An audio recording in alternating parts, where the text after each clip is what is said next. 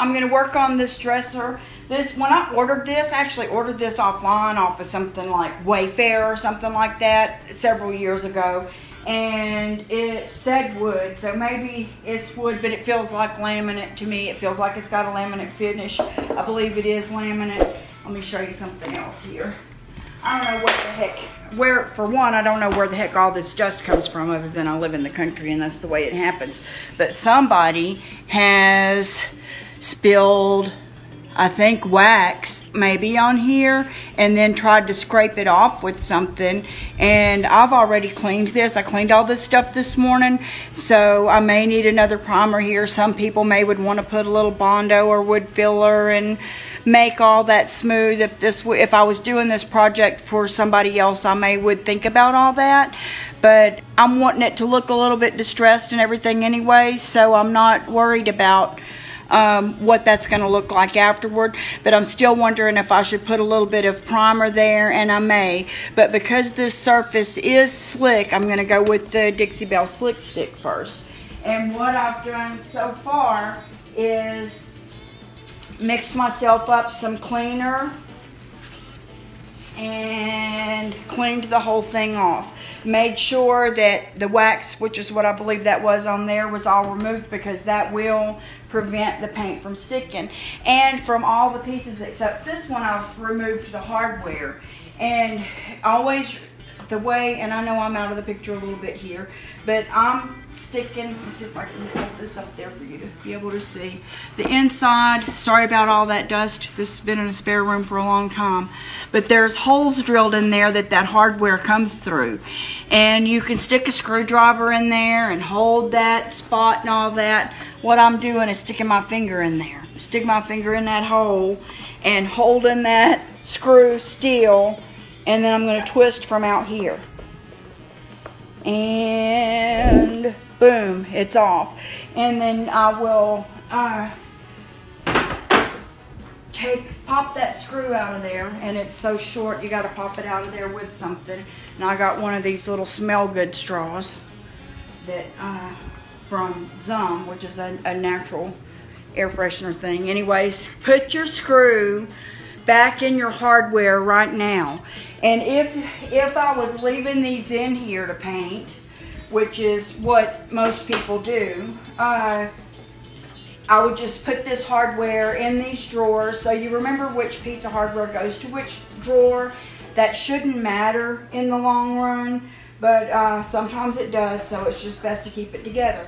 Now I could put a piece of scotch tape on these and keep them in there, but what I'm going to be doing is, let me get this in here before I forget it because I'm not going to use these on this piece. Uh, you'll see more of that later, but I'm going to save these. They'll be good on another piece later on. I'm not going to trash them, junk them, or lose them. But I've got, see if I can turn this whole thing and you see, I've got all the drawers out already. The hardware off of the rest of them, all of them clean, and they're lined up right there, ready for me to paint. And then this is stripped down and ready. And just as another FYI, I got this marked down to half price. It's a toolbox at uh, Tractor Supply the other day. And how cool is that for easily being able to tote all my brushes. I've got some waxes up there. And then inside here, I've got some paints and some other carriers. So I normally use like a 31 bag and I've got them everywhere this holds everything neatly and organized. I'm going to use uh, the same brushes I used the other day whenever I start painting, which were the new um, unnatural bristle ones from Dixie Belle, and I'll use that when I'm applying the paint. But right now, I'm, I'm using, and I'll use my Paint Pixie brushes for some of it. But right now, I'm just using this chip brush to hurry up and get this slick stick on here. And what the slick stick does, this is by Dixie Belle, is take a slick surface like glass or metal or laminate or varnished or whatever and it make and it's like a primer but it goes on there and takes the slick surface and makes it accept the paint. So then you can do, after you get it on here, and I did this on the other piece, do a scratch test to make sure that none's gonna scratch off to where you get back down to that slick surface so that this will last with the new colors that we put on here you know, from now on for a good amount of time. You don't want to go to all this work trying to make something look nice and then end up with a scratch and a messed up finish later on. That would just be heartbreaking. So I'm going to the extra step. Some people use, uh, like the, I think it's Zinsser, Zinsser 3, 2, or 1, 2, 3. I think is uh, one that uh, I've used on other projects and that some people use. But I wanted, I was anxious to try the slick stick and I was impressed and I'm going to stick with this from now on.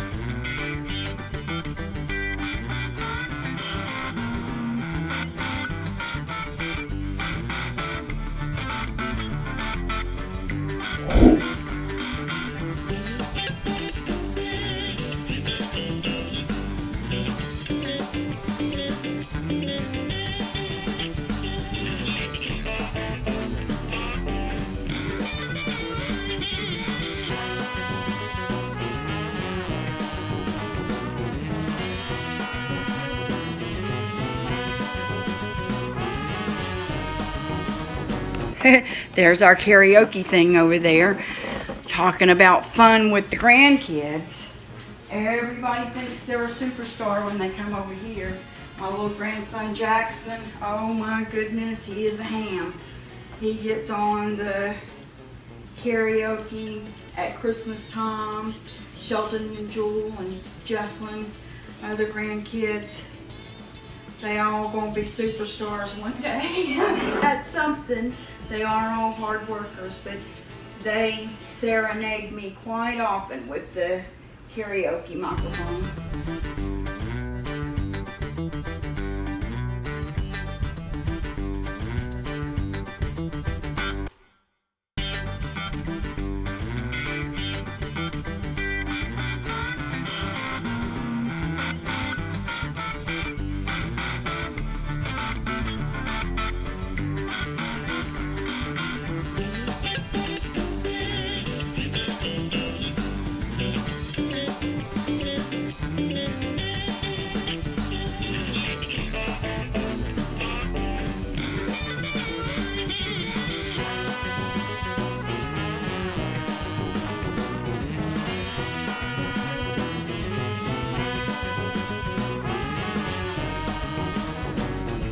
I am not going to recoat the whole thing. I'm going to recoat because I tried this on the smaller piece and it worked. So I'm just telling you what I'm going to do. Um, I'm going to recoat the top. I'm going to recoat the tops of the drawers where they'll get a lot of use. I'm going to recoat next to where the handles will be because I bought new hardware handles you know, recoat where those are gonna be. I'm gonna, uh, I'm not gonna recoat those side panels. It will probably never, ever, ever be touched there. I believe with all my heart, and it worked with the other piece, that uh, one coat of this primer is gonna be enough to uh, help the paint that you normally would not uh, need primer with anyways to stick to this surface permanently. So on the areas that are sort of high traffic, that'll get high use, tops of the drawers, this top edge right here, where the hardware's at, your finger's gonna be touching it all the time. The very top and the corners and the edge of that surface, and maybe more on this little bitty drawer, because your hands will be more on it as you pull it out. I'm gonna put a second coat these areas right here that go between the drawers will probably never get touched again forever hardly. So I'm not going to put a second coat there. I'm going to paint directly over that. I'm seeing a little bit of a run there. Uh, so I'm not going to put a second coat there because I'm thrifty with both my time and my products. But the areas that I'm worried about later on, like there's gonna be lamps sitting up here and there's gonna be change thrown on here. There's gonna be books sat here and there's gonna be electronic devices sat here, grabbed back up with the fingernails. There's gonna be so much use on the top surface that I'm gonna put that second coat on there because I just don't wanna take any chances.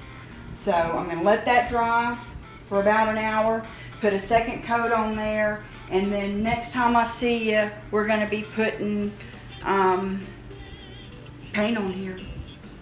Thanks for watching. I hope that helped you, and I'll talk to you soon.